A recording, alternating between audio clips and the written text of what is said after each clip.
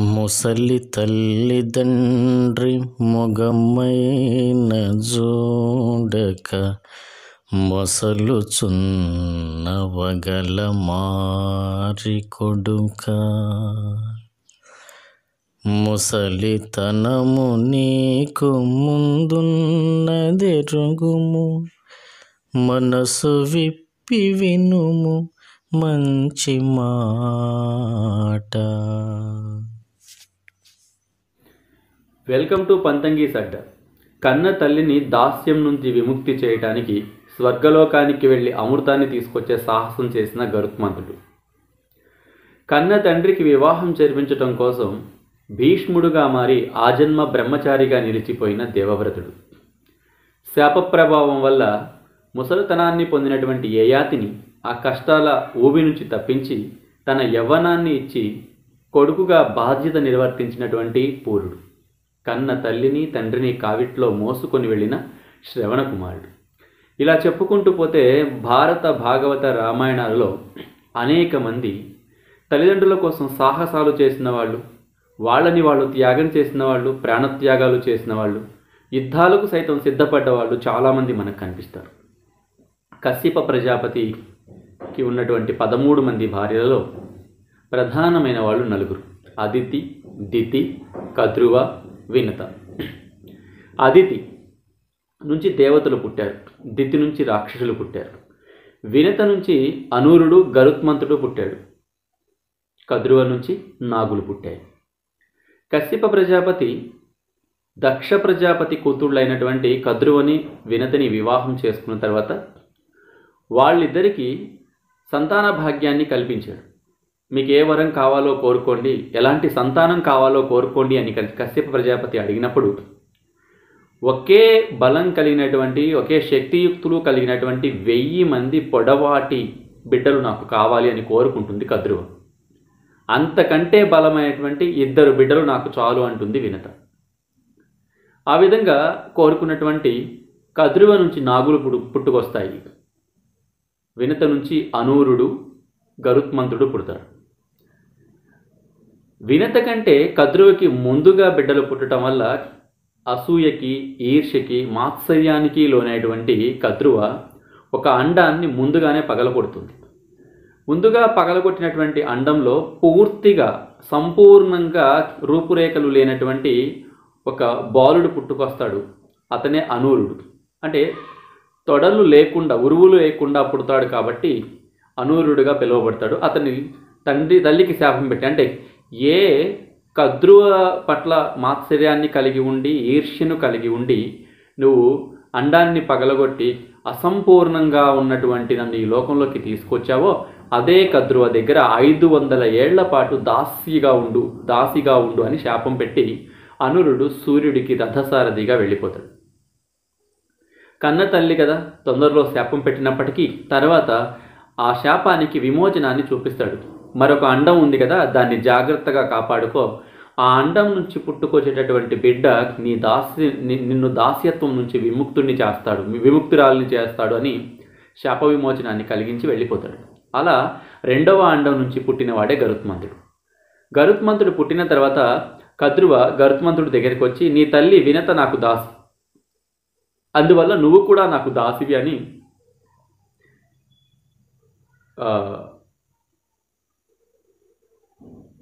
నీ తల్లి వినత దాసి నాకు. కాబట్టి వినత కొడుకు అయినటువంటి నువ్వు కూడా మాకు దాసివే అని కద్రువ గరుత్మంతుడిని కూడా దాసిగా మార్చుకుంటుంది. గరుత్మంతుడు నాగులని మోస్తూ తిరుగుతూ ఉంటాడు. వినత తనకి కద్రువకి సపరీలు చేస్తూ తిరుగుతూ ఉంటుంది. ఒకనొక సందర్భంలో గరుత్మంతుడు అడుగుతాడు అమ్మా మీరిద్దరూ కూడా తండ్రి అయినటువంటి కశ్యప ప్రజాపతికి భార్యలు. మరి తాను మహారాణిగాను నువ్వు దాసిగాను ఎందుకు ఉన్నావు? అని అడిగితే నన్ను మోసగించి నన్ను దాసిగా మార్చుకున్నది అని జరిగిన కథ అంతా కూడా వినుత గరుత్మంతుడు చెప్తుంది. కాబట్టి అమ్మ నిన్ను దాస విముక్తురాలు నేను చేస్తాను నా ప్రతాపం ఏంటో చూపిస్తాను అని తాను వెళ్ళి నాగులతో మాట్లాడుతూ ఇలా మీ తల్లి మా తల్లి ఇద్దరూ కూడాను తండ్రి అయినటువంటి కశ్యప ప్రజాపతికి భార్యలు. కాబట్టి మనం అందరం కూడా అన్నదమ్ములము. మా అమ్మ మీ నుంచి దాసిగా విముక్తురాలు కావాలి అంటే మీకేం కావాలో చెప్పండి మీకేం కావాలంటే అది తెచ్చి పెడతాను నా తల్లిని దాస్య విముక్తురాలు చేయండి అని కోరు కోరుతాడు. వాళ్ళు అమృతం తెమ్మని కోరుతారు. వెళ్తాడు స్వర్గలోకానికి అమృతాన్ని తీసుకొని వస్తాడు. అక్కడ ఉన్నటువంటి వాళ్ళందరూ ఎవరైతే అడ్డుగా వస్తారో వాళ్ళందరినీ కూడా ఎదిరిస్తాడు ఓడిస్తాడు. చివరికి ఏం చేయాలో అర్థం కాని స్థితిలో ఇంద్రుడు విష్ణుమూర్తిని ప్రార్థిస్తే శ్రీ మహావిష్ణువు వచ్చి గరుత్మంతుడిని ఆపటానికి ప్రయత్నం చేసి ఆపుతూ నీకేమన్నా వరం కావాలంటే కోరుకో కానీ అమృతాన్ని మాత్రం తీసుకెళ్ళకు నాయన అంటే వేరొకరు నాకు వరం ఇవ్వటం ఏంటి? నీకేం వరం కావాలో కోరుకో నేనే నీకు వరం ఇస్తా అంటాడు. అంటే శ్రీ మహావిష్ణువు వచ్చినవాడు శ్రీ మహావిష్ణువు అని తెలియక ఆయన యొక్క ప్రతాపం ఏమిటో తెలియక మాట్లాడితే చివరికి సరైన నాయన నిజంగా ఇస్తావా వరం అంటే ఇస్తాను అంటాడు. సరే నువ్వు నాకు వాహనంగా ఉండిపో అని గరుత్మంతుడిని కోరుకుంటాడు శ్రీ మహావిష్ణువు. ఆ తర్వాత వచ్చి ఆయన ఎవరు? ఆయన బలపరాక్రమాలేంటి ఆయన శక్తి సామర్థ్యాలు ఏంటి? అన్నీ చెప్పిన తర్వాత స్వామివారి పాదాల మీద పడి నేను తప్పు చేసినప్పటికీ కూడాను మీకు వాహనంగా ఉండే అదృష్టాన్ని నాకు కల్పించారు. కానీ ఒక మనవి నా తల్లిని దాస్య విముక్తురాలిని చేయాలి కాబట్టి అమృతాన్ని నేను తప్పకుండా తీసుకెళ్ళాలి అంటాడు. అమృతాన్ని తీసుకెళ్ళిన నాగులు అమృతాన్ని తాగకుండా మేము చూసుకుంటాం. ఎందుకంటే నాగులు అమృతాన్ని తాగినట్లయితే ఇక భూమండలం మీద అవి తప్ప వేరే జీవి ఏది కూడా బతికి ఉండటానికి అవకాశం ఉండదు. నువ్వు తీసుకెళ్ళి నాగులకు అమృతాన్ని ఇవ్వు. ఇచ్చిన తర్వాత నీ తల్లిని దాస్య విముక్తురాలిని చేయి. అక్కడి నుంచి వెళ్ళిపోండి మీరు. ఆ తర్వాత ఇంద్రుడు వచ్చి అమృతాన్ని తీసుకొని మళ్ళీ స్వర్గలోకానికి వెళ్ళిపోతాడు అని సలహా ఇస్తాడు. అసలు అదే విధంగా వెళ్ళి నాగులకి వాళ్ళ పిన్నిని పిలిపించి అందరి సమక్షంలో అమృతాన్ని ఇచ్చి తల్లిని దాస్య విముక్తురాలను చేసి అక్కడి నుంచి తీసుకొని వెళ్ళిపోతాడు. అయితే అమృతాన్ని తాగడానికి ముందుకు వచ్చినటువంటి వాళ్ళందరితోనూ శుచిగా ఉండాలి శుభ్రంగా స్నానం చేసి వచ్చి అప్పుడు తాగండి అని చెప్తాడు అందరూ కూడా వెళ్ళి సముద్ర స్నానానికి వెళ్తారు. సముద్ర స్నానం చేసి వచ్చేటప్పటికి ఇంద్రుడు వచ్చి అమృతాన్ని తీసుకొని స్వర్గలోకానికి వెళ్ళిపోతాడు. అలా అమృతాన్ని ఎక్కడ ఏ దర్భల దగ్గర అయితే పెట్టాడు దర్భలు వేసి దర్భల మీద అమృతం ఉన్నటువంటి పాత్రను పెట్టాడు గరుత్మంతుడు కనీసం ఒక ఒకటి రెండు చుక్కలైన జారి దర్భల మీద పడ్డాయేమో పడదాయేమో అని అనుకొని నాగులు దర్భల మీద పడి ఉన్నాయేమోనని భ్రమించి వాటిని నాకటానికి ప్రయత్నం చేస్తే ఒకటిగా ఉన్నటువంటి నాలుక దబ్బలు దర్బలు గుచ్చుకొని రెండుగా చీలిపోతుంది. అందుకనే పాముకి రెండు కోరలు ఉంటాయి. ఒకటే నాలుకట. బట్ ఎప్పుడైతే అమృతాన్ని నాకటం కోసం ప్రయత్నం చేసి దర్బలని నాకాయో ఆ దర్బలు గుచ్చుకొని నాలుక రెండుగా చీలిపోయిందని మనకి గరుడ పురాణంలో దీనికి సంబంధించిన వివరణలు కనిపిస్తాయని ప్రవచనకారులు చెప్పడం జరిగింది. కాబట్టి ఆ విధంగా గరుత్మంతుడు తల్లి యొక్క దాస్య తల్లిని దాస్య విముక్తురాలిని చేసి అక్కడి నుంచి తాను మళ్ళీ శ్రీ మహావిష్ణు యొక్క వాహనంగా వెళ్ళడం జరిగింది. కాబట్టి ఒక- కొడుకు తల్లికి శాపం ఇస్తే తొందరలో మరొక కొడుకు తల్లి యొక్క శా తల్లిని దాస్య విముక్తురాలిని చేయడానికి గొప్ప సాహసం చేసి మరి స్వర్గలోకానికి వెళ్ళి అమృతాన్ని తీసుకొచ్చాడు. అంటే ఇక్కడ తల్లికి గరుత్మంతుడు ఇచ్చినటువంటి ప్రాముఖ్యతని మనం గమనించవచ్చు. అలానే దేవవ్రతుడు. తన తండ్రి శంతనుడు సత్యవతిని చూసి ఇష్టపడిన తర్వాత పెళ్ళి చేసుకోవాలని ఆశపడితే సత్యవతి వాళ్ళ తండ్రి శంతనుడికి సత్యవతిని ఇచ్చి చేయడానికి ఇష్టపడడు. ఎందుకంటే శంతనుడికి అంతకు ముందే పెళ్ళి కావటం గంగాదేవితో వివాహం జరగటం బిడ్డలు కలగటం దేవవ్రతుడు తన బిడ్డగా పెద్ద కొడుకుగా ఉండటం ఇవన్నీ అందరికీ తెలిసిన విషయాలే. సచివతి వాళ్ళ తండ్రి ఇప్పుడు నా బిడ్డని ఇచ్చి పెళ్ళి చేస్తే నా బిడ్డకు బిడ్డలు పుట్టినా పా- బిడ్డలు పుట్టినా కానీ కుమారులు కలిగినప్పటికీ కూడాను నీకున్నటువంటి మొదటి భార్య కొడుకు ఎవరైతే ఉన్నారో అతను మాత్రమే రాజ్యానికి వారసుడు అవుతాడు తప్ప నా బిడ్డల కొడుకులు ఎవరు కూడా వారసులు కావటానికి వీలుండదు కాబట్టి నేను ఇవ్వలేను నీకు ఇచ్చి వివాహం చేయలేను అంటాడు సత్యవతి తండ్రి. ఈ విషయం తెలుసుకున్నటువంటి దేవవ్రతుడు వెళ్ళి సత్ సత్యవతి తండ్రితో మాట్లాడటం సత్యవతితో మాట్లాడటం జరుగుతుంది. అయినా కానీ వాళ్ళు ఒప్పుకోకపోతే ఆ ఒప్పుకోకపోవడానికి గల కారణాలను వాళ్ళు చెప్పిన తర్వాత తాను ఎలాగైనా సరే తండ్రికి వివాహం చేయాలి తండ్రి ఇష్టపడినటువంటి అమ్మాయితో వివాహం చేయాలి అని భీష్మించుకొని సత్యవతి వాళ్ళ ఇంటి దగ్గర కూర్చోవటం ఆ తర్వాత సత్యవతి తండ్రి కాంప్రమైజ్ అయ్యి వివాహం చేయడానికి వచ్చినప్పుడు ఐ మీన్ కాంప్రమైజ్ అయినప్పుడు తాను చెప్తాడు భీష్ భీష్మించుకొని కూర్చున్నాడు కాబట్టి భీష్ముడు అని పిలవబడుతున్నాడు నేను వివాహం చేసుకోను నాకు బిడ్డలు కలగరు ఆజన్మ బ్రహ్మచారిగా నేను ఉండిపోతాను అని భీష్మించుకొని కూర్చుంటాడు. అప్పుడు కాంప్రమైజ్ అయ్యి సత్యవతి తండ్రి వచ్చి శంతనుడికి సత్యవతికి వివాహం చేస్తారు. వివాహం చేసిన తర్వాత శంతనుడు భీష్ముడికి ఒక వరం ఇస్తాడు నీ అంతటా నువ్వుగా చచ్చిపోవాలి అనుకున్నప్పుడు మాత్రమే మరణం నీ అంచుల వరకు వస్తుంది తప్ప ఎట్టి పరిస్థితుల్లోనూ కూడాను ఎవరి వల్ల కూడా నీకు చావు దగ్గరికి రాదు. నువ్వు కోరుకునే వరకు అని ఒక వరాన్ని ఇస్తాడు. అంటే తండ్రి ఇష్టపడినటువంటి అమ్మాయిని అమ్మాయితో తండ్రికి ఇష్టపడినటువంటి అమ్మాయితో వివాహం జరిపించటం కోసం శంతనుడు ఐ మీన్ శంతనుడికి వివాహం జరిపించడం అంటే తండ్రికి వివాహం జరిపించడం కోసం భీష్ముడు అదే దేవవ్రతుడు ఆజన్మ బ్రహ్మచారిగా ఉండిపోయినటువంటి కథ మనందరికీ తెలిసినటువంటి విషయం. అంటే తల్లి కోసం తండ్రి కోసం వాళ్ళ వాళ్ళ సంతోషాలని సుఖాలని వాళ్ళ జీవితాలని కూడా సాక్రిఫైస్ చేసినటువంటి గొప్ప గొప్ప వ్యక్తుల కథలు మనకు అనేకం కనిపిస్తాయి. తల్లిదండ్రుల యొక్క గొప్పతనం ఒక కథ వల్ల లేదంటే ఒక కవిత వల్ల లేదంటే ఒక నాటకం వల్ల లేదా నాలుగు మాటల వల్ల చెప్పటం అనేది అసాధ్యమైన పని. ఎందుకంటే తల్లి తండ్రి లేకపోతే అసలు ఈ సృష్టి మనుగడ లేదు అనేది నా అభిప్రాయం. ఈ వీడియో చూస్తున్నటువంటి వాళ్ళు ఎవరైనా కావచ్చు పెద్దలు విద్యార్థి దశలో ఉన్నవారు మరెవరైనా సరే. నేను మీకు చెప్పే అంశం ఒకటే. మీ తల్లిదండ్రుల యొక్క ఫోటోలని అంటే పెళ్ళికి ముందు వాళ్ళు దిగినటువంటి ఫోటోలని చూడటానికి ప్రయత్నం చేయండి. ఒకవేళ పెళ్ళికి ముందు వాళ్ళ ఫొటోస్ ఏమీ లేకపోతే పెళ్ళి సమయంలో తీసినటువంటి ఫోటోల్ని చూడటానికి ప్రయత్నం చేయండి. వీలైతే వీలున్నంత వరకు వాళ్ళ వాళ్ళ ఫోటోలు ఏవైతే మీ తల్లిదండ్రుల ఫోటోలు ఏవైతే ఉన్నాయో వాళ్ళు వివాహానికి ముందు లేదంటే వివాహంలోవి లేదంటే వివాహమైనటువంటి కొత్తలో దిగినటువంటి ఫొటోస్ని మీరు కలెక్ట్ చేసి వాటిని పరీక్షించి చూడండి. తర్వాత ప్రస్తుతం మీ తల్లిదండ్రుల యొక్క రూపురేఖల్ని చూడండి. ఎందుకు నేను మీ పేరెంట్స్ ఫొటోస్ని చూడమని చెప్తున్నాను అంటే వాళ్ళు వివాహం చేసుకోవడానికి ముందు వివాహం చేసుకున్నప్పుడు అంటే ఫైనల్లీ మీరు పుట్టడానికి ముందు వాళ్ళు వేరు. మీరు పుట్టిన తరువాత వాళ్ళు వేరు. పుట్టడానికి ముందు చాలా ఆరోగ్యంగా ఉండి ఉంటారు వాళ్ళు. చాలా అందంగా కూడా ఉండి ఉంటారు. చాలా యాక్టివ్గా కూడా ఉండి ఉంటారు. పెళ్ళైపోయిన తర్వాత మీరు పుట్టిన తర్వాత వాళ్ళ శరీరంలో కావచ్చు వాళ్ళ మానసిక స్థితులలో కావచ్చు చాలా రకాల మార్పులు చోటు చేసుకొని ఉంటాయి. మిమ్మల్ని కంటానికి ఐ మీన్ మిమ్మల్ని కడుపులో మిమ్మల్ని మోయటానికి మోసిన తర్వాత నవమాసాలు వచ్చిన తర్వాత నిండిన తర్వాత మిమ్మల్ని కనటానికి కనిన తర్వాత మిమ్మల్ని జాగ్రత్తగా పెంచడానికి అంటే ఇట్స్ లాంగ్ ప్రాసెస్ అనమాట ఈ లాంగ్ ప్రాసెస్లో వాళ్ళు పడినటువంటి ఇబ్బందులు కష్టాలు అండ్ ఏవైతే ఉన్నాయో వాటన్నిటిని రీచ్ అయ్యే ప్రాసెస్లో వాళ్ళని వాళ్ళు హెల్దీగా ఉంచుకోవడానికి మిమ్మల్ని హెల్దీగా ఉంచడానికి ఆరోగ్యకరమైనటువంటి ఆహారంతో పాటు రకరకాల మెడిసిన్స్ని కూడా వాడి ఉంటారు.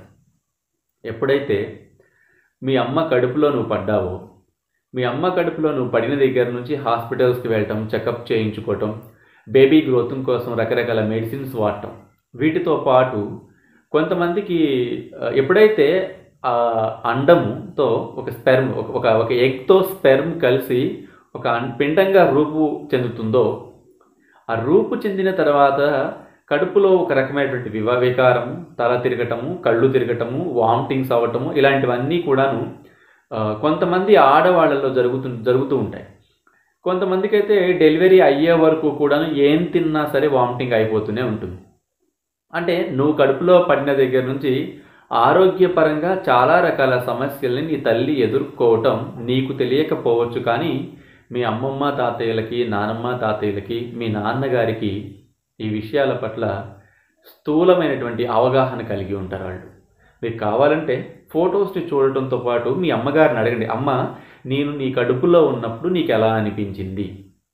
నాన్నమ్మ కావచ్చు తాతయ్య కావచ్చు అమ్మమ్మ తాతయ్య అది నాన్నగారు వీళ్ళంతా నిన్ను ఎలా చూసుకున్నారు నీ పట్ల ఎలా వ్యవహరించారు? ఇలాంటివన్నీ మీరు తెలుసుకోవడానికి ప్రయత్నం చేయండి. ఎందుకంటే మీరు ఈ లోకంలోకి రావటానికి మీ తల్లి పడినటువంటి కష్టం ఎంత ఉందో మీకు అర్థమవుతుంది. సో ఈ కడుపులో బిడ్డ పెరిగే ప్రాసెస్లో గ్రోతింగ్ కోసం మెడిసిన్స్ వాడటం అండ్ తనకు వచ్చేటటువంటి వామిటింగ్ సెన్సేషన్స్ ఇలాంటివన్నిటి కోసం మెడిసిన్స్ వాడటం. తర్వాత నవమాసాలు మీరు మీరు లోపల కడుపులో ఉండి తంతు ఉంటారు. ఇంట్లో వాళ్ళ అమ్మ నాన్న వాళ్ళకి చెప్పు అమ్మ వాడు ఇక్కడ తంతున్నాడే ఇక్కడ తంతున్నాడు కడుపు అంతా తిరిగేస్తున్నాడే లోపల అని చాలా సంతోషపడిపోతూ ఉంటుంది. ఇన్ కేస్ ఒకవేళ నీ నీ గ్రోతింగ్ నీ కదలికలో ఏదైనటువంటి మార్పులు సంభవించినా కానీ అని నువ్వు కదలకుండా ఉన్న ఉంటే అంటే బేబీ కడుపు లోపల కదిలే విషయం తల్లికి అర్థమవుతుంది. అండ్ బయట ఉన్న వాళ్ళు కూడా కాస్త పరీక్షించి చూస్తే బేబీ కదిలేటటువంటి విషయాన్ని మనం గమనించవచ్చు. ఒకవేళ కదలకుండా ఉన్నావంటే వెంటనే హాస్పిటల్కి వెళ్ళిపోయి చెకప్ చేయించేస్తారు బేబీ కదలట్లేదండి మార్నింగ్ నుంచి మధ్యాహ్నం నుంచి నిన్నటి నుంచి కదలట్లేదు. ఇలా చెప్పి చెక్ చేయించుకొని లోపల నీ కండిషన్ ఎలా ఉందో తెలుసుకోవడానికి ప్రయత్నం చేస్తారు. అంటే గుండెల్లో ఉండి తన్ని ఐ మీన్ కడుపులో ఉండి తన్ని అండ్ నవమాసాలు మోసి బయటికి వచ్చిన తర్వాత మంగళసూత్రాలు పట్టుకొని పా పాలు తాగుతూ తల్లి రొమ్ము పాలు తాగుతూ మంగళసూత్రాలు పట్టుకొని ఆడుకుంటూ ఉంటాం. ఆడుకునేటప్పుడు ఒక ఒక చేత్తో మంగళసూత్రం పట్టుకొని ఇంకొక కాలుని గుండెల మీద పెట్టి అంటే ఒక రొమ్ము మీద కాలు పెట్టి ఇంకొక కాలుతో ముఖం మీద రొమ్ముల మీద తంతు ఉంటాం. ఆ తంతున్నటువంటి పాదాలని తల్లి చేతుల్లోకి మల్లెపూల పొట్టంలాగా చేతిలోకి తీసుకొని చక్కగా ముద్దు పెట్టుకుంటుంది. అంటే కడుపులో నువ్వు తన్నినప్పుడు సంతోషపడిన తల్లి రొమ్ము పాలు తాగుతూ రొమ్ముల్ని తనని తంతున్నప్పుడు ఆ- ఆ పాదాలను తీసుకొని ముద్దాడిన తల్లి నిజంగా అంత గొప్ప ప్రేమని చూపించగలిగింది తల్లి ఒక్కటి మాత్రమే. ఒకవేళ నార్మల్ డెలివరీ రూపంలో నువ్వు బయటికి రాలేకపోయినట్లయితే సర్జరీ చేస్తారు. సర్జరీ చేయటం అంటే మామూలు విషయం కాదు. ఆల్మోస్ట్ ఒక జానడు ఈ- ఈ మంతం పొట్టని నిలువుగా కానీ అడ్డంగా కానీ కట్ చేస్తారు. కట్ చేసి బేబీని బయటికి తీస్తారు. బేబీని బయటికి తీసిన తర్వాత ఏదో వడ్ల బస్తాలకి కుట్లు వేసినట్టుగా ఒక తొమ్మిది కుట్లు అంటే తొమ్మిది నవమాసాలు మోసావు కాబట్టి మోసింది కాబట్టి నిన్ను ఈ లోకంలోకి తీసుకొచ్చినందుకు తొమ్మిది కుట్లు. తన శరీరాన్ని కోసి తన శరీరాన్ని గాయపరిచి తొమ్మిది కుట్లు వేయడం. అండ్ మినిమం చెప్తున్నాను. మ్యాక్సిమం పది కావచ్చు పదకొండు కావచ్చు పన్నెండు కావచ్చు శరీర తత్వాన్ని బట్టి ఉంటుంది. అంటే బేబీని అంటే పొ- పొట్ట కోసి బేబీని బయటికి తీసేటప్పుడు కుట్లు వేసేటప్పుడు పెద్దగా నొప్పి తెలియదు. ఎందుకంటే అనస్థిషియా ఇస్తారు కాబట్టి. ఒక హాఫ్ అన్ అవర్కో వన్ అవర్కో టూ అవర్స్కో అనస్థిషియా పోతుంది నొప్పి తెలుస్తూ ఉంటుంది. అంటే మంచం మీద నిన్ను ఎలా పడుకోబెట్టారో అలానే ఉండాలి తప్ప అటు ఇటు కదలటానికి ఏమాత్రం అవకాశం ఉండదు. మలమూత్రాదులు అన్నీ కూడాను మంచంలో ఉండే చేసుకోవాల్సినటువంటి పరిస్థితి ఉంటుంది. ఇకపోతే ఒక ఏడు రోజులు తొమ్మిది రోజుల తర్వాత కుట్లను తీస్తారు. తీసేటప్పుడు అంటే వేసేటప్పుడు తెలియని నొప్పి దానికి రెట్టింపు నొప్పిని నువ్వు తీసేటప్పుడు అనుభవిస్తావు. ఎందుకంటే ఆ పొట్టని ఇలా దగ్గరికి తీసుకొస్తారు. చేత్తో ఇలా దగ్గరే తీసుకొచ్చి ఒక సిజర్ తీసుకొని ఆ కుట్లని కట్ చేసి మీ వేరే ఫ్లకర్ లాంటిది పట్టుకొని ఇట్లా లాగుతూ ఉంటారు అనమాట ఆ లాగేటప్పుడు టప్ప టప్ప టప్ప లాగేటప్పుడు సర్రం అనుకుంటూ వచ్చేస్తూ ఉంటాయి ఒక్కొక్కసారి కుట్టు ఆగిపోయింది అనుకుంటే గట్టిగా లాగేస్తారు. లాగేస్తే ఆ నొప్పిని తట్టుకోవడం అనేది మామూలు విషయం కాదు. అండ్ కుట్లు పచ్చిగా ఉన్నాయనుకోండి నెత్తురు వస్తుంది చీమ వస్తుంది బ్లీడింగ్ ఎక్కువ అయిపోతుంది అండ్ స్పాంజ్ కానీ కాటన్ కానీ ఇలాంటివి పెట్టి మళ్ళీ చేయటం జరుగుతుంది. వన్స్ స్టిచెస్ వేసిన తర్వాత దగ్గకూడదు తుమ్మకూడదు. ఇన్ ఇన్ కేసు ఒకవేళ దగ్గినా కానీ తుమ్మినా కానీ స్టిచెస్ చిట్లిపోతాయి. ఐ మీన్ స్టిచెస్ కుట్లు తెగిపోతాయి. అంటే సింపుల్గా మా చెప్పాలి అంటే ఒక బిడ్డని తల్లి ఈ లోకంలోకి తీసుకురావటం అంటే తాను మరణంతో పోరాడి నిన్ను ఈ లోకంలోకి తీసుకురావటమే. అంటే తాను చనిపోతుంది చనిపోవటానికి ఛాన్సెస్ ఉన్నాయి. అండ్ ఇబ్బంది అయినప్పటికీ కూడాను నిన్ను ఈ లోకంలోకి తీసుకురావడానికి నీ నోటితో అమ్మ అని పిలిపించుకోవడానికి తను పడే తపన అంతా ఇంత కాదు. చిన్నప్పుడు అన్నం తినకపోతే చందమామ రావే జాబిల్లి రావే కొండెక్కి రావే అని పాటలు పాడుతూ అరుగుల మీద కూర్చోపెట్టి గోడల మీద కూర్చోపెట్టి బండ్ల మీద కూర్చోపెట్టి నీకు కడుపు నిండా అన్నం పెట్టడానికి ఎంత ప్రయత్నం చేస్తుందో. మరి ఈరోజు ముసలితనంలో ఉన్నటువంటి తల్లిదండ్రులకి మనం ఒక్క ముద్ద అన్నం ప్రేమగా పెట్టగలుగుతున్నామా?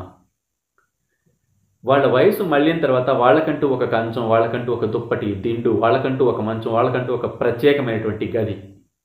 వాళ్ళకి సంబంధించినటువంటి వస్తువులు మనం పట్టుకోము మన పిల్లలు కూడా పట్టుకోవడానికి అవకాశం లేకుండా వాళ్ళని ఒక వింత జంతువులాగానో లేదంటే వింత మనిషిలాగానో లేదంటే క్షయ కుష్టు లాంటి వ్యాధిగ్రస్తులు ఉన్నటువంటి వాళ్ళగానో లేదా అంటరాని వాళ్ళగానో వాళ్ళని సెపరేట్గా ఉంచి ట్రీట్ చేయటం అనేది చాలా దారుణమైన విషయం. ఎందుకంటే ఈరోజు నువ్వు చేసే ప్రతి పని కూడా నీ బిడ్డలు చూస్తూ ఉన్నారు. నీ కొడుకులు చూస్తున్నారు నీ కూతుళ్ళు చూస్తున్నారు. కాబట్టి ఈ రోజు నువ్వు ఏదైతే చేసావో నీ తల్లిదండ్రులకి రేపు నీ పిల్లలు కూడా అదే చేయడానికి అవకాశం ఉంటుంది. నువ్వు నీ పిల్లల్ని ప్రేమగా చూసుకుంటే నువ్వు నీ తల్లిదండ్రుల్ని ప్రేమగా చూసుకుంటే నీ పిల్లలు నిన్ను ప్రేమగా చూసుకోవడానికి అవకాశం ఉంటుంది. The wooden bowl. తాతకు పెట్టిన బొచ్చ తలాపునే ఉంటుందని ఒక సామెత. ఇదే ఈ సామెతని ఆధారంగా చేసుకొని ఇంగ్లీష్లో ఒక లెసన్ ఉంది. ద వుడెన్ బౌల్ ఒక ఫాదర్ ఒక కొడుకు వాళ్ళ నాన్నకి ఒక చెక్క పాత్రలో రోజు అన్నం పెడుతూ ఉంటాడట. ఏదో ముష్టివాడికి వేసినట్టుగా అన్నం పెడుతూ ఉంటాడట. అతనికి సెపరేట్ దుప్పట్లు దిండ్లు సెపరేట్ మంచం సెపరేట్ గది అతని దగ్గరికి తాను వెళ్ళడు. తండ్రి దగ్గరికి కొడుకు వెళ్ళడు ఆయన మనవాళ్ళని పంపించడు. వుడెన్ బౌల్ ఒక వెదురుతో తయారు చేయబడినటువంటి ఒక చెక్క పాత్రలో తండ్రికి అన్నం పెడుతూ ఉంటాడు కోడలు కూడా అలానే ట్రీట్ చేస్తూ ఉంటుంది. కొన్నాళ్ళకి అతను చచ్చిపోయిన తర్వాత అతనితో పాటు అతని వస్తువులతో పాటు ఆ వుడెన్ బౌల్ కూడా పడేయడానికి ప్రయత్నం చేస్తే వాళ్ళ మనవడు అంటే ఈ కొడుకు వాళ్ళ కొడుకు అడుగుతాట నాన్న ఎందుకు దాన్ని పడేస్తున్నావంటే ఇది తాతది నాన్న ఈ బౌలు నా తాతగారు చనిపోయారు కదా అందుకని దీన్ని పడేస్తున్నానంటే అదేంటి మీ నాన్నకి నువ్వు అందులో పెట్టావు కాబట్టి నేను కూడా నీకు అందులోనే అన్నం పెడతాను కాబట్టి దాన్ని తీసి దాచిపెట్టినన్న రేపు ఉపయోగపడుతుంది కదా నీకు అంట అంటాడట కొడుకు. అంటే తాతకు పెట్టిన బొచ్చే తలాపునే ఉంటుంది. ఎక్కడికి పోదండి. ఈరోజు నీ తండ్రిని నీ తల్లిదండ్రులని నువ్వు ఎలా చూసుకున్నావో అది నీ కొడుకులు చూస్తూ ఉన్నారు. వాళ్ళు రేపు నిన్ను అలానే చూసుకుంటారు. కాబట్టి తల్లిదండ్రులను చూసుకో మాతృదేవోభవ పితృదేవోభవ అంటారు. ఆచార్య దేవోభవ అతిథి దేవో అవి మాతృదేవోభవ పితృదేవ అంటే జీవితంలో ప్రథమమైనటువంటి స్థానము తల్లికి తండ్రికి ఇవ్వటం జరిగింది. మరి ఇంత చదువులు చదువుకున్నటువంటి మనము ఇంత సంస్కారాన్ని నేర్చుకుంటున్నాము అనుకుంటున్నటువంటి మనం తల్లిదండ్రుల పట్ల ఎలా ఉంటున్నాం? ఎలా ఉండగలుగుతున్నాం? వాళ్ళు ఏం కోల్పోయారు అసలు? ఏం కోల్పు ఈరోజు తల్లిదండ్రులకి షుగర్లు ఉన్నాయి బీపీలు ఉన్నాయి రకరకాల వ్యాధులు ఉన్నాయి ఇవన్నిటికీ కారణం ఎవరు తెలుసా? నువ్వు నేను. మనల్ని వాళ్ళు కనటం వల్లే వాళ్ళకి షుగర్లు బీపీలు వచ్చాయి. ఎలా అంటారు? పిల్లల్ని కన్న తర్వాత వాళ్ళని పెంచే ప్రాసెస్లో ప్రతి మనిషికి విపరీతమైన కోపం వస్తుంది. అల్లరి చేస్తూ ఉంటారు చికాకు చేస్తూ ఉంటారు చెప్పిన మాట వినరు. అనుకూలంగా ఉండరు. డైవర్ట్ అయిపోయి రాంగ్ వేస్లో వెళ్ళిపోతూ ఉంటారు. వాళ్ళని సరైన మార్గంలో తీసుకురావడానికి మనం పడే తపన బాధ ఏం చేయాలో అర్థం కాని కోపం టైంకి తినకపోవటం టైంకి తాకకపోవటం వాళ్ళ గురించి ఆలోచించుకుంటూ సరిగా నిద్రపోకపోవటం ఇవన్నీ కూడాను మనకి బీపీలు షుగర్లు తీసుకొచ్చి పెట్టడానికి కారణమైంది. అంటే నిన్ను కనేటప్పుడు కేవలం నిన్ను మాత్రమే కాదు వాళ్ళకి వాళ్ళు తెచ్చుకునే రోగాలను కూడా కంటున్నారు. కాబట్టి అన్ని కోల్పోయారు ఈ మ్యారేజ్ కాలం నాటి ఫోటోలను చూస్తే పెళ్ళికి ముందు వాళ్ళ ఫోటోలను చూస్తే పెళ్ళైన కొత్తలో వాళ్ళ ఫోటోలను చూస్తే మనం పుట్టడానికి ముందు ఉన్నటువంటి వాటి వాళ్ళ ఫోటోలను చూడండి ఈ రోజు వాళ్ళని చూడండి. ఎంత అందంగా ఉండేవాళ్ళు సినిమా హీరోయిన్ల కంటే అందంగాను సినిమా హీరోల కంటే అందంగాను ఉన్నటువంటి అమ్మలు నాన్నలు ఈ రోజు వాళ్ళ శరీర ఆకృతులను మార్చుకొని వాళ్ళ అంద చందాలను వదిలేసుకొని ఎందుకు మన ముందు అలా కనిపిస్తుందంటే కేవలం నీ కోసం నా కోసం మన కోసం మాత్రమే. ఆల్మోస్ట్ వాళ్ళ జీవితం మొత్తాన్ని వాళ్ళు సాక్రిఫైస్ చేశారు. బిడ్డల కోసం వాళ్ళు దేన్నైనా వదులుకోగలరు ప్రాణాలతో సహా. దానికి సంబంధించి రియల్గా జరిగినటువంటి కొన్ని ఎగ్జాంపుల్స్ని మీకు చెప్తాను. అండ్ ఒక వీడియో అనమాట నేను రమారావి రమా రావి గారు సుమన్ టీవీలో ఆవిడ స్టోరీ టెల్లర్గా ఉన్నారు. ఆవిడ చెప్పినటువంటి ఒక వీడియో ఆధారంగా నేను ఈ కథను మీకు చెప్తున్నాను. రియల్గా జరిగిందంట ముంబైకి దగ్గరలో ఉన్నటువంటి ఒక పల్లెటూరు. ఆవిడ క చిన్నప్పుడే భర్త చనిపోతే ఒక్కగానే ఒక కొడుకుని చాలా అపురూపంగా గారాభంగా పెంచుకొని చక్కగా చదివించుకుందట. ఎందుకంటే నేను పడుతున్నటువంటి బాధలు తాను పడకూడదు నా కొడుకు చదువుకొని చక్కగా ఉద్యోగం చేసుకుంటే భార్య బిడ్డల్ని పోషించుకుంటే వాడు ఎలాంటి ఇబ్బంది లేకుండా ఉంటే చూసి మురిసిపోవాలని తరించిపోవాలని అనుకొని కొడుకుని చాలా ఉన్నతమైన చదువులు రెక్కలు ముక్కలు చేసుకొని తిని తినక పస్తులుండి రాత్రనక పగలనక కష్టపడి ఎవరు ఎన్ని మాటలు అన్నప్పటికీ కూడాను ఈ చెవితో విని ఈ చెవితో వదిలిపెట్టుకుంటూ కొడుకుని చక్కగా చదివించుకుంది. తాను ఆశపడినట్టుగానే చక్కటి ఉద్యోగం సంపాదించుకున్నాడు. ఉద్యోగం వచ్చినటువంటి కొద్ది రోజులకి కొడుకు పెళ్ళి కూడా చేసింది. కొడుకు ముంబైలో నివాసం ఉంటున్నాడు. ఉద్యోగం చేసుకుంటూ ఒక అపార్ట్మెంట్లో నివాసం ఉంటున్నాడు. ఆ కొడుకుకి ఇంకొక కొడుకు కూడా. అయితే ఈ ఊళ్ళో ఉన్నటువంటి ఆవిడ కొడుకును చూడాలనిపించింది. ఒక్కతే తాను ఉండలేక అవసాన దశకి వచ్చేసింది. అంటే ఇక ఇవాళ రేపో కొద్ది రోజులకి చచ్చిపోతా అనేటువంటి సిచ్యువేషన్ అనమాట ఆవిడది. అలాంటి పరిస్థితుల్లో ఉన్న నాలుగు రోజులు కొడుకు దగ్గర ఉండి తన దగ్గరే ప్రాణాలు వదిలేయాలని కొడుకుని మనవడిని కోడల్ని చూసుకుంటూ తన ఆఖరి మజిలీని పూర్తి చేయాలని తాను ఆశపడింది. అట్లనే కొడుకుకు ఉత్తరం ముక్క రాసింది. ఉత్తరం ముక్క రాస్తే తాను కూడా రిప్లై ఇచ్చాడు. సరే అమ్మ పలానా రోజులు ట్రైన్కి నేను నువ్వు వచ్చేసే నేను రైల్వే స్టేషన్కి వస్తా అని చెప్పాడట ఆ ఉత్తరం ముక్కలు. ఆవిడ చెప్పిన విధంగానే బయలుదేరి వచ్చింది తాను రైలు దిగే టైంకి చక్కగా కొడుకు అందుబాటులో ఉన్నాడు. తల్లిని దగ్గరికి తీసుకున్నాడు. కాస్త కౌగిలించుకున్నాడు. అమ్మ ఎలా ఉన్నారు కుశలమైన? ఊరు ఎలా ఉంది? మన వాళ్ళంతా ఎలా ఉన్నారని కాసేపు మాట్లాడాడు. మాట్లాడిన తర్వాత కారులో ఎక్కించుకొని తల్లిని తీసుకెళ్ళాడు. తీసుకెళ్ళి ఒక రెండు మూడు గంటలు బొంబాయి మొత్తాన్ని చూపించాడు. ఇక్కడ ఇదమ్మా అక్కడ అదమ్మా ఇక్కడ ఇలా ఉంటుంది అక్కడ అలా ఉంటుంది అని అంతా చూపించి మధ్యాహ్నం రెండు మూడు దాటిన దగ్గర నుంచి బీచ్కి తీసుకెళ్ళాడు. ముంబైలో బీచ్కి తీసుకెళ్ళి బీచ్ ఒడ్డు మీద కాస్త పల్లి పొట్టలు అది కొనుక్కొని తల్లితో పాటు కాసేపు తిన్నాడు అనమాట తిని తల్లి కూడా తింటూ ఉంటే తల్లితో మాట్లాడాడు. అంతలోనే ఏదో ఒక ఫోన్ వచ్చింది. ఇంగ్లీష్లో కాసేపు మాట్లాడినంట. ఇంగ్లీష్లో మాట్లాడుతూ ఉంటే కొడుకు ఇంగ్లీష్లో మాట్లాడుతుంటే ఆ దర్పణం ఆ- టీవీని చూసి నా కొడుకు ఇంగ్లీష్ ద్వారాలాగా చక్కగా ఇంగ్లీష్ మాట్లాడుతాడు. ఎంత బాగున్నాడు నా కొడుకు. చక్కగా తెల్ల సొక్క వేసుకొని ప్యాంట్ వేసుకొని బెల్ట్ వేసుకొని షూలు పెట్టుకొని మెడలో ఏదో కట్టుకొని ఎంత అందంగా ఉన్నాడు ఎంత రాజాలాగా ఉన్నాడు నా కొడుకు ఇంగ్లీష్ మాట్లాడుతాడని చాలా సంతోషపడిపోయి మురిసిపోయిందంట. ఫోన్ పెట్టేసిన తర్వాత తాను కొడుకు వచ్చి అమ్మ నువ్వు ఇక్కడే ఉండు నాకు ఒక చిన్న పని ఉంది నేను చూసుకొని మళ్ళీ ఒక గంట గంటన్నరలో నీ దగ్గరకు వచ్చేస్తాను. నువ్వు ఇక్కడ నుంచి ఎటు వెళ్ళకమ్మా నేను ఖచ్చితంగా వస్తాను అని చెప్పి కొడుకు వెళ్ళిపోయాడు. నాలుగు అయింది ఐదు అయింది ఆరు అయింది అయినప్పటికీ కూడా కొడుకు రావట్లేదు. ఆ కొడుకు వెళ్ళేటప్పుడు ఒక కాగితం మొక్క ఇచ్చాడు తల్లికి. అమ్మ ఇందులో నా అడ్రస్ ఉంది నువ్వు కంగారు పడకు భయపడకు ఇది నా నీ దగ్గర పెట్టుకో నా ఫోన్ నెంబర్ కూడా ఉంది నీకు ఏమైనా ఇబ్బంది అనిపిస్తే ఎవరో ఒకరిని అడిగి ఒక ఒకసారి ఫోన్ చేయించమ్మా నేను నీతో మాట్లాడతా అని చెప్పి వెళ్ళిపోయాడు. ఎంత ఎంత టైం అయినప్పటికి కూడా రావట్లేదు. అయితే ఆరున్నర ఏడు ప్రాంతంలో ఒక కుర్రాడు ఆ బీచ్ దగ్గరికి వచ్చి ఈ ముసలావిని చూశాడు. ఈ కుర్రాడే ఈ ఈ ముసలావిడ రైలు దిగుతూ ఉంటే చూశాడు. కొడుకు వచ్చి తనతో మాట్లాడటము తనతో కూర్చోబెట్టి అక్కడ కాసేపు మాట్లాడటం కారులో ఎక్కించుకొని వెళ్ళటం చూశాడు. అదే పిల్లగాడు ఇప్పుడు వచ్చి మా అమ్మ నేను నిన్ను చూశాను పొద్దున నువ్వు రైలు దిగావు ఎవరో వచ్చి నిన్ను ఎక్కించుకెళ్ళారు నీతో మాట్లాడారు కారులో తీసుకొని వెళ్ళటం నేను చూశానమ్మా అంటే అవునవును అతను మా కొడుకు ఇక్కడే ఉంటాడు ముంబైలో ఉద్యోగం చేస్తాడు మంచి ఉద్యోగం చక్కగా మంచి జీతం కూడా వస్తుంది మొన్నే పెళ్ళి అయింది కూడాను ఒక కొడుకు కూడా పుట్టాడు నా మనవడిని కోడల్ని చూడటానికి వెళ్తున్నా కోడలు కూడా చాలా చక్కటి చాలా అందంగా ఉంటుంది ఇష్టపడి నేనే చేశాను నా కొడుక్కి పెళ్ళి అని చెప్తుంది. చెప్పిన తర్వాత మరేంటి ఇక్కడ కూర్చున్నామంటే నా కొడుకు వెళ్ళాడు చాలాసేపు అయింది వెళ్ళి వెంటనే వస్తానమ్మా అని వెళ్ళాడు. ఏదైనా ఇబ్బంది అయితే ఈ ఈ కాగితం ఒక చూపెట్టి ఫోన్ చేయమన్నాడు నాకు. అది నాకు భయంగా ఉంది ఇంకా రాలేదయ్యా కరెక్ట్ ఒక ఫోన్ చేసి పెడతావని కాగితం ఎక్కిస్తే ఆ పిల్లగాడు చూసి షాక్ అయ్యాడట. అందులో ఏముందంటే ఈవిడ ఒక మతి స్థిమితం లేని ఆవిడ. కాబట్టి ఈ ఈ ఈ లెటర్ని ఈ ఈ ఉత్తరం ముక్కని చూసిన వాళ్ళు ఈవిడ తీసుకెళ్ళి బస్ స్టేషన్లో కానీ రైల్వే స్టేషన్లో కానీ వదిలిపెట్టండి. పలానా ఊరు బస్ ఎక్కే దగ్గర అని రాసిందట. సరే బాధపడ్డాడు. తల్లి యొక్క ఎగ్జైట్మెంట్ని కొడుకు పట్ల ఉన్నటువంటి నమ్మకాన్ని ఇవన్నీ కూడా గమనించినటువంటి ఆ పిల్లగాడు చాలా సున్నితంగా అర్థమయ్యేలాగా ఆ బామ్మకి చెప్పాడు విషయాన్ని. తాను కళ్ళంటే నీళ్ళు పెట్టుకుంటూ ఇది ఇది బామ్మ జరిగిందని చెప్తే లేదు లేదు నా కొడుకు అలాంటి వాడు కాదు నన్ను అలా వదిలేసి వెళ్ళేవాడు కాదు. నేను చిన్నప్పటి నుంచి చూస్తున్నాను వాడిని ఇంకోటి చాలా గొప్ప మనస్తత్వం ఉన్నటువంటి వ్యక్తి నా పెంపకం అలాంటిది కాదు అన్నట్టు మాట్లాడిందంట. సరే మా అమ్మ నేను కూడా నీతో పాటే ఉంటాను చూద్దాం వస్తాడో రాడా అని నైట్ పది పదకొండు పన్నెండింటి వరకు ఉన్నప్పటికీ కూడాను కొడుకు తిరిగి రాలేదు.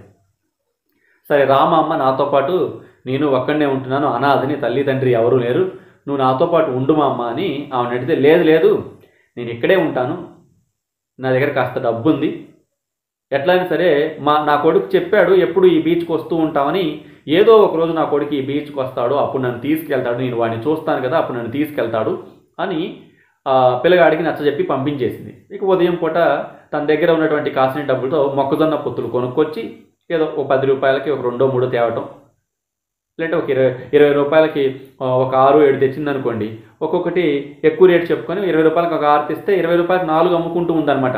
అంటే మొక్కజొన్న పొత్తులు కొనుక్కొని మారు మా- చేసుకుంటూ జీవనం కొనసాగిస్తూ ఉంది. అలా ఫోర్ ఇయర్స్ తను అదే బీచ్లో మొక్కజొన్న పొత్తులు అమ్ముకుంటూ తిరుగుతూ ఉందట.